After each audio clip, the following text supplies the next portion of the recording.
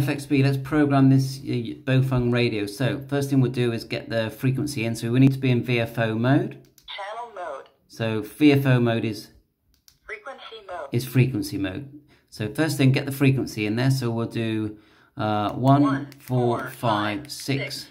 Zero, zero. That's the receiving memory channel because you have to store two channels. Um, it's a bit weird, but that's what you've got to do. So that's receiving memory.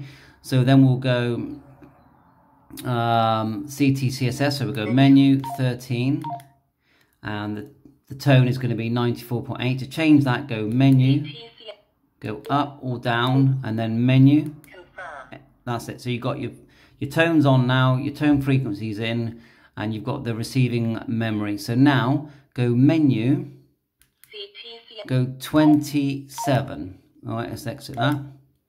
Menu. Menu 27. So that's memory channel. Now choose a blank channel. When they're blank, you, it doesn't have the words CH. Memory channel. So you go up until it's like that. That's an unused channel. So now you hit menu. Receiving memory. So your receiving memory is now stored on number four. So now exit out and put in your transmit memory. So like when you key a repeater with a 600 shift, it on, on a 145 600 repeater, so go one, four, five. When you Zero, key, it would be zero. your transmit actually when you key is 145000. So now go back to menu 4. So we go menu. First of all select 27.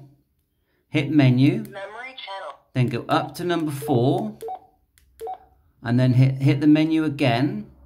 Transmitting memory. That's transmitting memory. So if you exit now, go into memory mode Channel mode. and go to channel Five. 4. Or when I say memory mode, I mean channel mode. And if you look now, if I key, we've got the shift in there. And if I key, oops, wrong one. Look, 145000. So there you go. That's how to enter a repeater into your Baofeng radio and store into memory. 7.3, all the best.